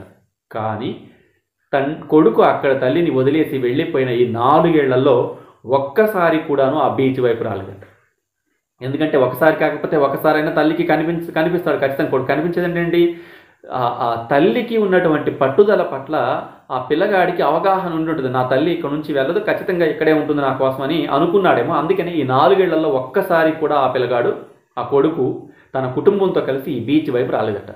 ఇంకా కొడుకు కోసం వెతుకుతూ అక్కడే మొక్కజొన్న పొత్తులు అమ్ముకుంటూనే తన జీవనం కొనసాగిస్తోంది అని రమారావి గారి కథలో నేను ఇది ఇది విన్నాను. ఇది నిజంగా జరిగినటువంటి కథ. ఇలానే జరిగిన కథ ఇంకొకటి చెప్తాను. Alvin company. మీకు ఐడియా ఉండే ఉంటుంది. ఆల్విన్ వాచెస్ కానీ ఆల్విన్ ఫ్రిడ్జెస్ ఇవన్నీ కూడా అంటే ప్రభుత్వ రంగ సంస్థ ఇది. ఏ సింబల్తో ఉంటుంది? అంటే చార్మినార్ ఎలా అయితే ఉంటుందో చార్మినార్ స్ట్రక్చర్లో ఏ సింబల్ ఉంటుంది? అది ఆల్విన్ కంపెనీ సింబల్ అనమాట ఆల్విన్ కంపెనీలో ఫ్రిడ్జ్లు వాచెస్ ఇవన్నీ కూడా తయారయ్యేవి. అదొక ప్రభుత్వ రంగ సంస్థ కంపెనీ. అయితే ఒకనొక టైంలో ఒకనొక పీరియడ్లో ఆ ప్రభుత్వ సంఘ సంస్థ దాన్ని ఎత్తివేశారు. మూసివేయడం జరిగింది. మూసివేస్తే అందులో పనిచేస్తున్నటువంటి వందల మంది వేల మంది ఉద్యోగులు అందరూ కూడాను నడి రోడ్డు మీద పడ్డారు. చాలామంది ఆత్మహత్యలు చేసుకొని చచ్చిపోయారు. చాలామంది హార్ట్ అటాక్లు వచ్చి చచ్చిపోయారు. అండ్ నిస్సహాయ స్థితిలో కొంతమంది కూలి పనులు చేసుకుంటే మంచి మంచి చదువులు చదువుకొని కూడా వేరే అవకాశాలు లేక కూలి పనులు చేసుకుంటూ కూడా కొంతమంది బతుకుతూ ఉన్నారు. అయితే ఈ ఆల్విన్ కంపెనీ మూసేసినటువంటి టైంలో ఒక మదర్ చనిపోయింది. ఆవిడ కథ ఒకసారి మనం తెలుసుకుంటే ఆవిడ కూడా సేమ్ అన్నమాట. భర్త చిన్న వయసులోనే చిన్న వయసులోనే పెళ్ళి చేశారు చిన్న వయసులోనే కొడుకు పుట్టాడు చిన్న వయసులోనే భర్త చనిపోయాడు. అంటే ఆల్మోస్ట్ పదిహేను పదహారు సంవత్సరాలు వచ్చే టైంకి పెళ్ళి కావటం బిడ్డ పుట్టడం భర్త చనిపోవటం అన్నీ జరిగాయి. సో అయినా కానీ తాను భయపడలేదు. అప్పట్లో మళ్ళీ పెళ్ళి చేసుకోవటం అంటే భర్త చనిపోతే మళ్ళీ పెళ్ళి చేసుకోవటం అనే కాన్సెప్ట్ లేదు కాబట్టి తాను మళ్ళీ పెళ్ళి వైపు మొగ్గు చూపకుండా కొడుకుని చూసుకొని కొడుకుని వెనక వీపుకు కట్టుకొని ఆ ఇంట్లో ఈ ఇంట్లో పని చేసుకుంటూ తను జీవనం కొనసాగిస్తూ ఉంది.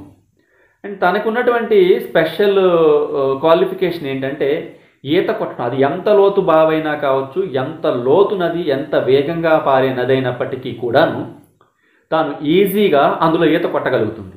ఇంకా చెప్పాలంటే పైనుంచి దూకి అడుగుకు వెళ్ళి మట్టి పట్టుకొని అడుగున ఉన్నటువంటి మట్టి కానీ ఇసుకను కానీ తీసుకొని వచ్చి చూపిస్తే అంటే మహా మహా మగాళ్ళందరూ కూడాను ఆవిడ ధైర్యానికి సాహసానికి ఆవిడ ఈత కొట్టే విధానానికి చూసి ఆశ్చర్యపోయేవాళ్ళట. ఒకసారి చీరని గట్టిగా కట్టి గోచిపెట్టి బావిలోకి దూకిందంటే అడుక్కు వెళ్ళి మట్టి తేవాల్సిందే.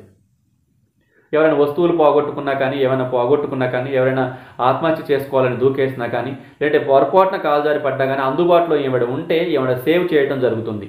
అంటే ఎవరైనా వస్తువులు బావుల్లో పోగొట్టుకుంటే ఏమైనా పిలిపించి తీపించుకోవటం ఎంతో కొంత అమౌంట్ ఇచ్చి పంపించేయడం జరుగుతుంది. అంటే ఈ పని కాకుండా ఆ పని కాకుండా ఏ పని అయినా సరే తాను చక్కగా చేసుకుంటూ కొడుకుని చదివించుకుంటూ ఉందన్నమాట. ఒకసారి అడవిలో కట్టెలు కొట్టడానికి వెళ్తుంటాను. కట్టెలు కొట్టడానికి వెళ్ళి కట్టెలు కొట్టి మోపు తీసుకొని పొలాలన్నీ నెత్తిన పెట్టుకొని వస్తుంటే ఫారెస్ట్ ఆఫీసర్స్ ఎదురయ్యి ఆవిడ్ని ఇష్టం వచ్చినట్టు తిడతారు. బాబుని అడవిని నీ బాబు సొమ్మ లేదా నీ మొగుడు సొమ్మ ఎవడు సొమ్మ అనుకొని కట్టెలు కొట్టుకెళ్తున్నావే అని పోలీసులు ఫారెస్ట్ ఆఫీసర్స్ తిట్టడానికి తిడుతూ తను పట్టుకోవడానికి ప్రయత్నం చేస్తే ఇద్దరు పిల్లలు అంటే తనతో పాటు వచ్చినటువంటి ఇద్దరు పిల్లల్ని తాను పట్టుకొని ప- అడవిలో అడ్డదారుకుండా పరిగెత్తుకుంటూ వెళ్ళి పరిగెత్తుకుంటూ వెళ్తే ఆవిడ్ని ఫాలో అవుతూ ఉన్నారు ఆఫీసర్స్. చివరికి చూస్తే ముందు చూస్తే పెద్ద గోదావరి వెనక చూస్తే పోలీసు. ఇద్దరు పిల్లల్ని చెరొక పిల్లల్ని చంకనేసుకొని కట్టెల మోపు పట్టుకొని గోదావరిలోకి దూకేసి చక్కగా ఈదుకుంటూ ఆదోలు ఒడ్డుకి వెళ్ళిపోయిందంట. ఆ ఈదుకుంటూ వెళ్ళేటప్పుడు అవునరా అడవి నా బాబు సొమ్మే అడవి నా మొగుడు సొమ్మే ఏం చేస్తారో చేసుకోండి నదిలోకి దూకిన దగ్గర తర్వాత ఈత కొట్టుకుంటూ వెళ్ళేటప్పుడు తాను మాట్లాడుకుంటూ వెళ్ళిపోయింది. అంటే పోలీసులకు ఎదురు సమాధానం చెప్పుకుంటూ వెళ్ళింది. అంటే అంత ధైర్యం అంత సాహసం చేసేదన్నమాట సరే మొత్తం మీద కష్టపడింది కొడుకుని పెద్దవాడిని చేసింది. చక్కగా ఆల్విన్ కంపెనీలో ఉద్యోగం వచ్చింది ఆ అబ్బాయికి. మంచిగా ఉద్యోగం చేసుకుంటుంటే పెళ్ళయింది పిల్లలు కూడా పుట్టారు ఇద్దరు మగ పిల్లలు పుట్టారు. అండ్ ఆ తల్లి మాత్రం విలేజ్లోనే ఉండి ఆ పని ఈ పని చేసుకుంటూ జీవనం కొనసాగిస్తూ ఉంటే కొడుకు కోడలు ఒకసారి వచ్చి నువ్వు ఇక్కడ ఒక్కదాని ఉండి ఎంతకాలం అని ఉంటావమ్మా? ఏ ఇన్నాళ్ళు కష్టపడి చదివించావు మంచి ఉద్యోగం వచ్చింది మా దగ్గర ఉండి పిల్లలను చూసుకొని చక్కగా నువ్వు నీడపట్టున ఉండకుండా ఎందుకే నీకు ఇక్కడ అని కొడుకు కాళ్ళు కాస్త నాలుగు మంచి మాటలు చెప్పి బతిలాడి తీసుకెళ్ళారు పట్నం తీసుకెళ్ళిపోయారు. పట్నం తీసుకెళ్ళిపోయిన తర్వాత ఏమైంది? ఈమెడ వెళ్ళిన కొద్ది కాలానికే కంపెనీలో ఉద్యోగం పోయింది. అండ్ కంపెనీ ఎత్తేసారు కాబట్టి ఉద్యోగం పోయింది. వేరే మంచి మంచి అవకాశాలు లేవు. చిన్న చిన్న పనులు చేసుకుంటూ కుటుంబాన్ని నెట్టుకు రావాల్సిన పరిస్థితి ఆ అబ్బాయికి వచ్చింది. అండ్ పిల్లల్ని పోషించుకోవాలి చదివించుకోవాలి భార్య అండ్ పక్క తల్లి. చాలా అంటే బర్డెన్స్ అన్నీ కూడా ఆ పిల్లాడి మీద నా- ఆ అబ్బాయి నెత్తిన పడిపోయాయి అనమాట తల్లి కొడుకు యొక్క కష్టాన్ని చూసి తట్టుకోలేక తానందట నాయన నాకెందుకో ఊరి మీద మనసు మడుతోంది. ఒక్కసారి నేను ఊరెళ్ళి మన వాళ్ళందరినీ చూసుకొని మళ్ళీ వస్తానురా. నేను ఉండలేకపోతున్నానని తన కోడలికి కొడుక్కి నచ్చజెప్పి మొత్తం మీద ఊరెళ్ళిపోయింది. ఊరెళ్ళిపోయినటువంటి ఆవిడ ఏం చేయాలో అర్థం కాక కొడుకు యొక్క కష్టాన్ని చూసి తట్టుకోలేక తనకున్నటువంటి పాతిక సెంట్లు భూమి అమ్మి కొడుకుకి ఇమ్మని వెళ్ళే కొడుకుకి అందేలాగా ఏర్పాటు చేసి తాను ఆత్మహత్య చేసుకుందామని అనుకుంది. ఎలా చచ్చిపోవాలో అర్థం కాక ఒక పెద్ద బావి దగ్గరికి వెళ్ళి అందులో దూకేద్దాం అనుకుంది. కానీ తాను గజేతరా. ఎక్కడ ఏ నదిలో దూకినా ఏ బావిలో దూకినా కానీ తాను ఈజీగా తిరిగి ఈత కొట్టుకుంటూ పైకి వచ్చేయగలదు అందుకని ఏం చేసింది? పెద్ద పెద్ద రాళ్ళు తీసుకొచ్చి కాళ్ళకి తాడు కట్టి ఆ తాడుని రాళ్ళకి కట్టింది. అట్లా రెండు రాళ్ళు తీసుకొచ్చి రెండు రాళ్ళకి రెండు కాళ్ళు రెండు కాళ్ళు కట్టేసి బావి ఒడ్డున పెట్టి తాను కూర్చొని చివరిసారిగా కొడుకుని తలుచుకొని రెండు రాళ్ళని బావిలోకి తోసేసింది.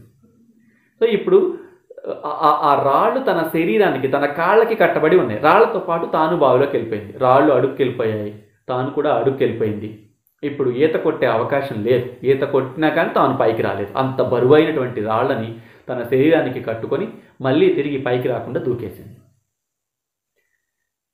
తర్వాత కొడుకు డబ్బులు అందాయి. ఎక్కడి ఏంటి అంటే మీ అమ్మ పాతిక సెంట్ల భూమి అమ్మి నీకు ఇమ్మని చెప్పింది. నీ కష్టాలు తీర్చుకోమని అడిగింది. మా అమ్మేది మా అమ్మేది అంటే ఎవరిని అడిగినా కానీ ఎవరు ఏం చెప్పారనమాట శవం కూడా ఎక్కడా కూడాను కనిపించలేదు. ఐ మీన్ మనిషి ఎక్కడా కనిపించలేదు. తాను పెద్ద పెద్ద రాళ్ళు కట్టుకొని లోపలికి వెళ్ళిపోయింది కాబట్టి ఈవెన్ శవం కూడా ఉబ్బి పైకి రావడానికి అవకాశం లేకుండా పోయింది. తల్లి ఏమైందో అర్థం కాక నిస్సహాయ స్థితిలో కన్నీటి పర్యంతమైన కొడుకు తిరిగి మళ్ళీ పట్టణానికి పరి ప్రయాణం అవుతుంది. అంటే ఇప్పుడు తల్లి శవం దొరికిందనుకోండి ఇన్ కేస్ దొరికినట్లయితే తనకి కర్మకాండలు చేయాలి దహన సంస్కారాలు చేయాలి దీనికంతా కూడా అమౌంట్ అవుతుంది. ఎందుకు ఇదంతా? ఒక రూపాయి అంటే నా కొడుకు ఉపయోగపడుతుంది కదా అనేటటువంటి భావన ఆ తల్లిది. ఈ కథ పేరు గజయేతరాలు. నిజంగా మొదటి కథలో మనం చూసినట్టయితే కొడుకుని వదిలేసి తల్లిని వదిలేసి వెళ్ళిపోయిన కొడుకు. రెండవ కథలో చూస్తే కొడుకు బాగు కోసం ప్రాణాలు వదిలేసి వెళ్ళిపోయిన తల్లి. రెండు కథల్లో కూడాను చిన్న వయసులోనే పెళ్ళిళ్ళు కావడం చిన్న వయసులోనే బిడ్డలు పుట్టడం చిన్న వయసులోనే భర్తలు పోవడం అయినప్పటికీ కూడాను కొడుకుని కంటికి రెప్పలా కాపాడుకున్నటువంటి తల్లి. తల్లి లేకపోతే ఆడికి ఉద్యోగం ఎక్కడ వస్తుంది? ముంబైలో ఎలా పెళ్ళాన్ని పిల్లల్ని పోషించుకోగలుగుతారండి? ఆ మాత్రం సంస్కారం లేకుండా మతిస్థిమితం కలిగినటువంటి వ్యక్తిగా పరిగణించి తనని బీచ్లో వదిలేసి వెళ్ళిపోయిన కొడుకు. అయినప్పటికీ కూడా నా కొడుకు అలాంటి వాడు కాదు నా పెంపకం అలాంటిది కాదు. నా కొడుకు ఏనాటికైనా తిరిగి వస్తాడని నాలుగు సంవత్సరాల పాటు మొక్కజొన్న పొత్తులు అమ్ముకుంటూ ముంబై బీచ్లో గడుపుతున్నటువంటి ఒక దీన స్థితి ఒక ఒక తల్లి యొక్క దీన గాథ ఇది. ఇంకొకటి కొడుకు బాగు కోసం కొడుకు మంచి కోసం కొడుకు కుటుంబం కోసం ప్రాణాలను కూడా వదిలేసి వెళ్ళిపోయినటువంటి తల్లి. ఎంతమంది తల్లుల్ని మనం పరిశీలించినా కానీ కుటుంబ సంక్షేమం కోసం కుటుంబ క్షేమం కోసం వాళ్ళని వాళ్ళని వాళ్ళని వాళ్ళు త్యాగం చేసుకునేటటువంటి గొప్ప మనస్తత్వాన్ని తల్లి తల్లులు కలిగి ఉంటారు. గొప్ప మనస్తత్వాన్ని తల్లు తల్లులే కదా తండ్రులు కూడా. అంటే ఎందుకు నేను ప్రత్యేకంగా తల్లి గురించి చెప్తున్నానంటే ముసలి తల్లిదండ్రి మొగమైన చూడక అంటున్నాను ముసలి తల్లిదండ్రుల ముఖాలు చూడాల్సింది మోస్ట్లీ మ్యాక్సిమం కొడుకులే. ఎందుకంటే కూతుళ్ళు ఉంటే పెళ్ళి చేసుకొని వెళ్ళిపోతారు. తిరిగి వాళ్ళు వచ్చి చూడటం అనేది కాస్త కష్టమైన విషయం. అత్తలు మామలు ఆడబిడ్డలు భర్త పర్మిషన్స్ ఇవన్నిటిని దాటుకొని వాళ్ళు తల్లిదండ్రులు వచ్చి వచ్చి చూసుకోవటం అనేది కాస్త కష్టమైన విషయం. కానీ ఖచ్చితంగా ఎక్కడ ఉంటారు అంటే కొడుకు దగ్గరే ఉంటారు. కొడుకు చిన్నప్పటి నుంచి ఎవరితో ఎక్కువ రిలేషన్ మెయింటైన్ చేస్తాడు అంటే తల్లితోనే ఎక్కువ రిలేషన్ మెయింటైన్ చేస్తాడు దట్స్ నేను తల్లి గురించి ఎక్కువ మాట్లాడటానికి ప్రయత్నం చేస్తున్నాను. అంత ప్రేమ చూపించిన చిన్నప్పుడు అంత ప్రేమ చూపించిన నువ్వు. స్కూల్కి వెళ్ళాలంటే అమ్మ కొంగు పట్టుకొని ఇంట్లో నుంచి బయటకు వెళ్ళాం. అమ్మ ఊరు వెళ్ళిపోతూ ఉంటే అమ్మ కొంగు పట్టుకొని అమ్మని వదిలిపెట్టవు నువ్వు. అంటే ఒక ఊహ తెలిసే వరకు కూడాను అమ్మ కొంగు దాటి బయటికి రాని నువ్వు అమ్మ రొమ్ము పాలు తాగి పెరిగిన నువ్వు అమ్మ ఒడిని ఊయల చేసుకొని అమ్మ ఒడిని బడిని చేసుకొని ఎదిగిన నువ్వు ఎదిగిన తర్వాత తల్లిని ఎలా మర్చిపోతావు? ఎదిగిన తర్వాత తల్లిని ఎలా మర్చిపోగలుగుతున్నావు? కాబట్టి వాళ్ళకేవో ఆస్తులు అంతస్తులు ఐశ్వర్యాలు అండ్ రకరకాల ప్రాపర్టీస్ నగలు నాణ్యాలు వజ్ర వైఢూర్యాలు మణిమాణిక్యాలు ఇవి ఏవి ఇవ్వాల్సిన అవసరం లేదు. వయసు మళ్ళిన తర్వాత సమయానికి నాలుగు ముద్దల అన్నం ప్రేమగా పెట్టగలిగితే చాలు. అంతకంటే వాళ్ళ నుంచి ఎక్కువ ఏం కోరుకో చందమామ రావే జాబిలి రావే కొండక్కి రావే అని ఓ జోలపా పాడి నీకు అన్నం తినిపించినటువంటి వాళ్ళకి అవసాన దశలో ఒక ముద్ద అన్నం పెట్టలేకపోతే ఒక కొడుకుగా ఒక మనిషిగా నువ్వు ఏ స్థాయిలో ఉన్నట్టు నువ్వు ఏం నేర్చుకున్నట్టు? శ్రవణ కుమారుని మనం చూసినట్లయితే రామాయణంలో కనిపిస్తాడు తల్లిదండ్రులు ముసలి తల్లిదండ్రులు ఇద్దరిని కూడా కావిట్లో పెట్టుకొని తాను ప్రయాణం కొనసాగిస్తూ ఉంటాడు. నడవలేని స్థితిలో వాళ్ళు ఉంటే వాళ్ళని కావిట్లో పెట్టుకొని. అంటే కావిడి. ఇట్లా ఉంటుంది. ఇలా ఉండి ఇలా ఉంటుందన్నమాట. అంటే లైక్ ఇట్లా ఇట్లా ఉంటుంది కావిడి. అంటే ఇటుపక్క అటుపక్క రెండు పక్కల కూడాను సమానమైనటువంటి బరువు కలిగి ఉండాలి. లేదంటే కాస్త వెయిట్ ఎక్కువ ఉందనుకోండి బ్యా బ్యాలెన్స్ చేసుకోవాలి. అలా ఒక తల్లిని ఒక ఒక ఒక పక్క తండ్రిని ఒక పక్క కూర్చొని కావిడి మోసుకుంటూ వెళ్తాడు. బ్యాలెన్స్ చేసుకుంటూ ఎవరు ఎక్కువ ఎవరు తక్కువ కాదు. ఇద్దరిని బ్యాలెన్స్ చేసుకుంటూ వెళ్తే వాళ్ళకి దాహం అయితే ఒకసారి శ్రవణ కుమారుడు ఒక చెట్టు కింద వాళ్ళని కూర్చోపెట్టి కావిని దించి మంచినీళ్ళ కోసం కొలంలోకి వెళ్తే ఏదో జంతువు అలికిడి వినిపిస్తుంది అన్న అని భ్రమపడి దశరథ మహారాజు బాణం వేస్తాడు. ఆ బాణం తగిలి శ్రవణ కుమారుడు చచ్చిపోతాడు. ఆ విషయాన్ని శ్రవణ కుమారుడి తల్లిదండ్రులకు చెప్పగానే దశరథ మహారాజు ఇలా జరిగిందమ్మా ఇలా నీ కుమారుడు చనిపోయాడు అంటే ఏ పుత్రశోకం వల్ల మేము మరణిస్తున్నామో అదే పుత్రశోకంతో నువ్వు మరణిస్తావు అని శ్రవణ కుమారుడి తల్లిదండ్రులు శాపం పెడతారు. ఆ శాప ప్రభావం వల్ల రాముడు అడవులకు వెళ్ళిపోయిన తర్వాత రాముణ్ణి తలుచుకొని తలుచుకొని తలుచుకొని చివరికి అదే శోకంతో దశరథ మహారాజు కన్ను మూయటం జరుగుతుంది.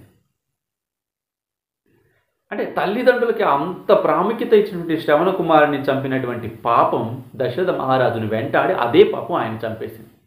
ఇక్కడ ఏంటంటే శ్రవణ కుమారుడు ఎంత ఇదిగా తల్లిదండ్రులు చూసుకున్నాడు అనే విషయాన్ని మనం గమనించాలి. ఇంకా మనం ఇంకొక చూస్తే ఏయాతి మహాభారతంలో కనిపిస్తాడు. ఏయాతి కథలో చూసినట్టయితే మనకి ఏయాతి దేవయానిని శర్మిష్ఠని పెళ్ళి చేసుకుంటాడు. దేవయాని చేసుకున్నాక తనకి తెలియకుండా శర్మిష్టం చేసుకోవడం. శర్మిష్టం చేసుకున్న తర్వాత శర్మిష్ఠ కూడా పిల్లలు పుడతారు. ఆ తర్వాత ఒక సందర్భంలో శర్మిష్ఠని వివాహం చేసుకున్నాడు. తనకి కూడా పిల్లలు ఉన్నారు అన్న విషయాన్ని తెలుసుకున్న దేవయాని ఆవేశంగా వెళ్ళిపోయి తన తండ్రి అయినటువంటి శుక్రాచార్యులు వారికి చెప్తుంది. నాన్న మీ అల్లుడు నన్ను మోసం చేశాడు.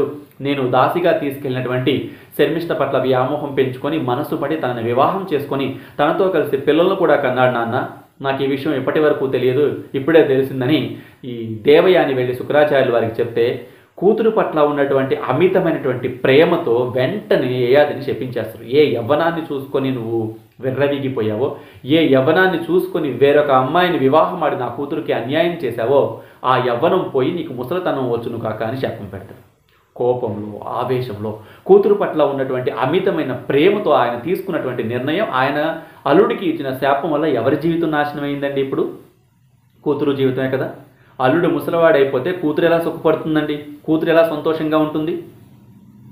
జరగాల్సిన కార్యం అంతా జరిగిపోయిన తర్వాత దేవయాని బాధపడుతూ ఉంటే ఇప్పుడు శాపానికి విముక్తిగా ఒక మార్గం చూపిస్తారు. నీకు పుట్టినటువంటి కొడుకుల్లో ఎవరైనా నీ ముసలితనాన్ని తీసుకొని వాళ్ళ యవ్వనాన్ని నీకు ఇవ్వగలిగితే తిరిగి నువ్వు యవ్వనాన్ని ఎంజాయ్ చేయొచ్చు యవ్వనంతో ఉండొచ్చు అని ఒక వెసులుబాటు కల్పిస్తాడు. కొడుకులందరినీ దేవయానికి పుట్టిన వాళ్ళని శర్మిష్టకి పుట్టిన వాళ్ళని పిలిపించి అడిగితే అందరూ అంటారు చాలు నాన్న నువ్వు ఎన్నాళ్ళు ఎలాగో ఎంజాయ్ చేసావు ఎలాగో రాజ్యాన్ని పరిపాలించావు ఇద్దరి భార్యలతో సుఖించావు కాబట్టి ఇకపై నీకు ముసలితనం వచ్చింది కదా ఇదే ముసలితనంతో ఉండిపో రాజ్యాలను మేము చూసుకుంటామని చాలా ఉన్నటువంటి దేవయానికి పుట్టిన వాళ్ళందరూ శర్మిష్టకు పుట్టిన వాళ్ళందరూ కూడా ఆల్మోస్ట్ ఇదే మాట చెప్తారు. కానీ శర్మిష్టకి పుట్టినటువంటి కొడుకుల్లో ఒకడైన పూరుడు మాత్రం ముందుకు వచ్చి తండ్రి మీ ముసలితనాన్ని నేను తీసుకుంటాను. నా యవ్వనాన్ని మీరు తీసుకోండి అని తన యవ్వనాన్ని తండ్రికి ఇచ్చేసి ముసలితనాన్ని పూర్వుడు తీసుకుంటాడు. అంటే ఇక్కడ మనం తెలుసుకోవాల్సిన విషయం ఏంటంటే యవ్వనాన్ని తీ ఇచ్చేసి ముసలితనం తీసుకోవటము అంటే ముసలి వాళ్ళైనటువంటి తల్లిదండ్రులు వాళ్ళ పనులు వాళ్ళు చేసుకోరు. వాళ్ళ కాళ్ళ మీద వాళ్ళు నిలబడలేరు. డిపెండింగ్ లైఫ్ ఆధారపడినటువంటి జీవితాలు. ఆధారపడినటువంటి జీవితాలలో ఉన్నటువంటి వాళ్ళని స్థితిలో ఉన్నటువంటి వాళ్ళని కంటికి రెప్పలా కాపాడుకోవాల్సినటువంటి బాధ్యత మంది. సమయానికి ఎంత అన్నం పెట్టి వాళ్ళని ప్రేమగా చూసుకోవాలి. అంటే మేము ముసలి వాళ్ళు మా వయసు అయిపోయింది మా బతుకులు అయిపోయాయి మా జీవితాలు అయిపోయాయి మేము ఆధారపడి బతుకుతున్నాము ఇలాంటి బతుకు బతకటం కంటే చావటం ఇలాంటి భావన వాళ్ళకి కలిగించకుండా చూసుకోవాలి. వాళ్ళకి కలగకుండా ఉండాలి అంటే ఏంటి? వాళ్ళు యవ్వనంలో ఉండాలి. యవ్వనంలో అది అక్కడ కథ కాబట్టి ఆనాటి కాలంలో అలా జరిగాయి కాబట్టి యవ్వనాన్ని ఇచ్చేసి ముసలితనం కొడుకు తీసుకోగలడు ఇప్పుడు మన తల్లిదండ్రులకి మన యవ్వనాన్ని ఇచ్చి వాళ్ళ దగ్గర నుంచి ముసలితనం మనం తీసుకోలేము కానీ ఏం చేయగలం? వాళ్ళు ముసలితనంలో ఉన్నారు అన్న భావనని వాళ్ళకి వచ్చేలాగా మనం చేయకూడదు. అంటే ఏంటి? వాళ్ళకి అన్నీ అందుబాటులో ఉంచి సపరీలు చేసుకుంటూ చక్కగా వాళ్ళని ప్రేమగా చూసుకోగలిగితే మేము ముసలి వాళ్ళం మా జీవితం అయిపోయింది అనే ఆలోచన వాళ్ళకి రావు. ముసలి తల్లితండ్రి మొగమైన చూడక మసలుచున్న వగలమారి కొడక ముసలితనము నీకు ముందున్నదెరుగుము. కాబట్టి ఈరోజు ముసలి వాళ్ళని చెప్పి వాళ్ళని దూరంగా ఉంచడానికి ప్రయత్నం చేస్తే వాళ్ళని ఇబ్బంది పెట్టడానికి ప్రయత్నం చేస్తే నీ కొడుకులు చూస్తూ ఉన్నారు. నీ బిడ్డలు చూస్తూ ఉన్నారు. వాళ్ళు రేపు నీ పట్ల అలానే ప్రవర్తిస్తారు. ఎందుకంటే ముసలితనము నీకు ముందున్నదెరుగుము. చెప్పాను ముందే మీకు వాళ్ళు ఏమీ ఎక్స్పెక్ట్ చేయరు నీ నుంచి. కాసంత ప్రేమని. సమయానికి నాలుగు ముద్దలు. దశరథ మహారాజు చనిపోయిన తర్వాత పిండ ప్రదానం చేయాల్సిన పరిస్థితి వస్తే రాముడు అరణ్యంలోనే ఉన్నాడు. అంటే అయోధ్య మహానగరానికి దగ్గరలో ఉన్నటువంటి పర్వత శ్రేణుల్లో ఉన్నాడన్న సంగతి తెలుసుకొని కౌసల్య సుమిత్ర కైకేయి అతన్ని తీసుకొద్దామని తండ్రికి పిండ ప్రదానం చేయించడం కోసం కర్మకాండలు చేయించడం కోసం తీసుకొద్దామని వెళ్తే అప్పటికే రాముడు సీతా సమేతంగా అక్కడి నుంచి వెళ్ళిపోతాడు. కానీ రాముడు ఇంతకాలము ఇక్కడే ఉన్నాడు. ఈ మధ్యే ఈ రోజే ఇక్కడ నుంచి వెళ్ళిపోయాడన్న సంగతి వాళ్ళకి ఎలా తెలుస్తుందంటే రాముడు తండ్రికి చేసిన పిండ ప్రదానం వల్ల తెలుస్తుంది. తాను గోధుమ రొట్టెలతోనో సంథింగ్ ఏదో ఒక పిండి పదార్థంతో తాను పిండ ప్రదానం చేస్తారట. ముద్దలు చేసి పిండాన్ని వదిలేసి వెళ్ళిపోతారు. అంటే భూజనంబులు మెచ్చు భోజనముల నర్చు భూజనంబులు మెచ్చు భోజనముల నర్చు అలాంటి భోజనం భూజనం అంతా మెచ్చేటటువంటి భోజనాలు ఉండే అయోధ్య నగరాన్ని వదిలిపెట్టి రాముడు కందమూలాలు తినుకుంటూ ఆకులు అలములు తినుకుంటూ తర్వాత ఏదో ఒక రకమైనటువంటి పిండి పదార్థం తినుకుంటూ తాను ఏదైతే తింటున్నాడో ఆ పదార్థాలతోనే రాముడు పిండ ప్రదానం చేశాడు. కొడుకు నీ దగ్గర నుంచి ఓవర్గా ఎక్స్పెక్ట్ చేయడు. నువ్వు గంజి తాగావా? గంజే పోయి. అది ప్రేమగా పోయి సంతోషపడతాడు నువ్వు రొట్టెలు తిన్నావా? తనకి నువ్వు రెండు రొట్టెలు పెట్టు. నువ్వు నువ్వు నువ్వు రెండు తింటే అతనికి ఒకటి పెట్టు. దానికి సంతోషపడిపోతాడు. నువ్వు ఏది తింటున్నావో నువ్వు ఎలా ఉంటున్నావో అలానే ప్రేమగా చూసుకో తండ్రి తల్లి సంతోషపడిపోతారు. ఇప్పుడు చెప్పేటటువంటి కథ అంటే నిజంగా జరిగినటువంటి కథ చాగంటి కోటేశ్వరరావు గారి ప్రవచనాల్లో విన్నాను. ఆయన ఒకసారి ఒక వృద్ధ అనాథ శరణాలయానికి వెళ్ళారట. అక్కడ ఉన్నటువంటి వాళ్ళు ఆహ్వానించడంతో అక్కడ ఉన్నటువంటి తల్లిదండ్రులు ముసలి తల్లిదండ్రులతో మాట్లాడి వాళ్ళల్లో కాస్త ధైర్యాన్ని మానసికమైనటువంటి స్థైర్యాన్ని నింపడం కోసం ఆయన ఆ అనాథ శరణాలయానికి వెళ్ళారు. అక్కడ ఉన్నటువంటి అనేక మంది తల్లులని తండ్రులని చూసి ఇంతమంది తల్లులు తండ్రులు కొడుకులకి బరువయ్యారా అని చాలా బాధపడ్డారట. చాలా బాధపడుతూనే కాస్త అక్కడ ఉన్నటువంటి వాళ్ళతో మాట మాట కలుపుతూ ఉన్న సందర్భంలో అనుకోకుండా ఒక ఆవిడ పెట్టె పట్టుకొని కూర్చోవటం కనిపించిందట. వెళ్ళి ఆవిడతో మాట్లాడుతూ ఏమిటమ్మా ఇక్కడ ఉన్నారు ఏంటి? ఎలా ఉన్నారు? ఆరోగ్యం ఎలా ఉంటుంది? అంటే బాగానే ఉన్నానండి. నా ఆరోగ్యం బాగానే ఉంది. ఈరోజు నా కొడుకు వస్తున్నాడు. నన్ను తీసుకెళ్ళిపోవడానికి. అందుకే నేను అన్నీ సర్దుకొని కూర్చున్నాను. వాడు రావటం ఆలస్యం. కారుకి వెళ్ళిపోతాను నేను అని చెప్పిందని చాలా సంతోషపడ్డారట. అంటే ఎంతమంది కొడుకులకి బ- తల్లులు తండ్రులు బరువయ్యారు. కనీసం ఒక్క కొడుకైనా సరే మనసు మార్చుకొని వచ్చి తల్లిని తీసుకెళ్ళడానికి ఇష్టపడుతున్నాడు అని సంతోషపడిపోయి నిర్వాహకులతో మాట్లాడితే అక్కడ ఉన్నటువంటి మేనేజ్మెంట్ వాళ్ళు నిర్వాహకులు చెప్పారట గత మూడు సంవత్సరాలుగా ఆవిడ పెట్టె పెట్టెలు సర్దుకొని బయటికి వచ్చి ఇలా కూర్చుంటూనే ఉందండి కొడుకు కోసం అదేంటమ్మా అంటే చెప్పారట ఇట్లా ఒక అతను వచ్చారండి మా దగ్గరికి మా ఇంట్లో ఒక ముసలావిడ ఉంది మా దూరపు బంధువు ఆవిడ మాకు ఉద్యోగ నిమిత్తం ట్రాన్స్ఫర్ అయ్యి బదిలీ అయ్యి వేరే ప్రాంతానికి వెళ్ళిపోతున్నాం మరి ఆవిడ ఇక్కడ వదిలేసి వెళ్ళాలనుకుంటున్నాం ఆవిడ పోషణార్థం ఎంత అమౌంట్ కట్టమంటారు అని అడిగి ఆవిడకి మేము కట్టమన్నంత అమౌంట్ ఆయన కట్టి మరుసటి రోజు వచ్చి ఈమెను దించేసి వెళ్ళిపోయారండి. ఈమెను దించేసి వెళ్ళిపోయిన తర్వాత తెలిసిన విషయం ఏంటంటే ఈవిడ ఆయనకి దూరపు చుట్టం కాదు కన్న తల్లి. అప్పటి వరకు అంటే ఆవిడని అనాథ శరణాలయంలో వదిలేస్తున్నారన్న సంగతి కూడా ఆవిడకి తెలియదు. చుట్టాలింటికి వెళ్తున్నామని చెప్పి తీసుకొచ్చి ఇక్కడ దించేసి అమ్మాయి ఇక్కడ ఉండు నేను ఒక అరగంటలో వచ్చి తీసుకెళ్తాను అని చెప్పి వెళ్ళిపోయారు ఆయన.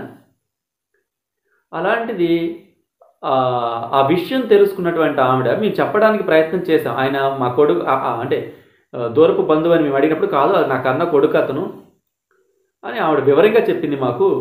అప్పటికి ఆయన కాంటాక్ట్ అవ్వడానికి ప్రయత్నం చేశాం. మాకు వీలు కుదరలేదు. ఆవిడ కూడాను కొడుకు యొక్క స్వభావాన్ని ప్రవర్తనని నమ్మలేకపోయింది. నా కొడుకు అలాంటి వాడు కాదు అలా చేయడు. అరగంటలో వచ్చి నన్ను తీసుకెళ్ళిపోతాడు. చెప్పాడు నాకు అని అంటే ఆవిడ్ని ఇక్కడ జాయిన్ చేయించినప్పుడు ఉన్నటువంటి ప్రూఫ్స్ అన్నీ కూడా ఆవిడకి చూపించామండి మేము. చూపిస్తే అవి చూపించిన కాసేపటికే ఆవిడకి మతి స్థిమితం కోల్పోయి పిచ్చిదైపోయింది. ఆ రోజు నుంచి ప్రతిరోజు సాయంత్రం పూట బట్టలు సర్దుకొని బయటికి వెళ్ళి కూర్చోవటం రాత్రి వరకు అక్కడే కూర్చొని మళ్ళీ లోపలికి రావటం పొద్దున్నే అందరితో నా కొడుకు వస్తున్నాడు నేను వెళ్ళిపోతున్నా నా కొడుకు వస్తున్నాడు నేను వెళ్ళిపోతున్నా అని చెప్పడం మళ్ళీ సాయంత్రానికి వెళ్ళి కూర్చోవటం మళ్ళీ రాత్రికి ఇంట్లోకి రావటం లోపలికి రావటం ఆశ్రమంలోకి ఇది గత మూడు సంవత్సరాలుగా జరుగుతూనే ఉందండి. ఆ రోజు వెళ్ళిపోయినటువంటి కొడుకు ఇంతవరకు తిరిగి రాలేదు. ఊరోజులేసి వెళ్ళిపోయాడో ఇంకెక్కడికైనా వెళ్ళిపోయాడో అసలు ఏమైపోయాడో కూడా తెలియదండి అని ఆశ్రమ నిర్వాహకులు చెప్పారట.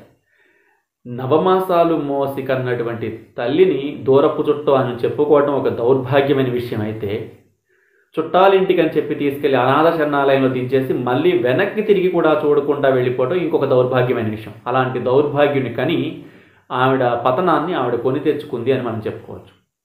ఇలాంటి కొడుకులు కూడా ఈరోజు తయారవుతున్నారు. అలాంటి తల్లులు అనేక మంది అనాథ శరణాలయాల్లో వృద్ధ శరణాలయాల్లో ఉంటున్నారు. అనాథ శరణాలయాలు వృద్ధ శరణాలయాలు లేనటువంటి ఒక సమాజాన్ని స్థాపించడం తర్వాత సంగతి. కానీ కనీసం ఆశ్రమాలు అనాథ శరణాలయాలు ఉండటం వల్ల నడి రోడ్డు మీద తల్లుల యొక్క వేదనాభరితమైనటువంటి స్థితిని చూసేటటువంటి ఇది మనకు తప్పింది.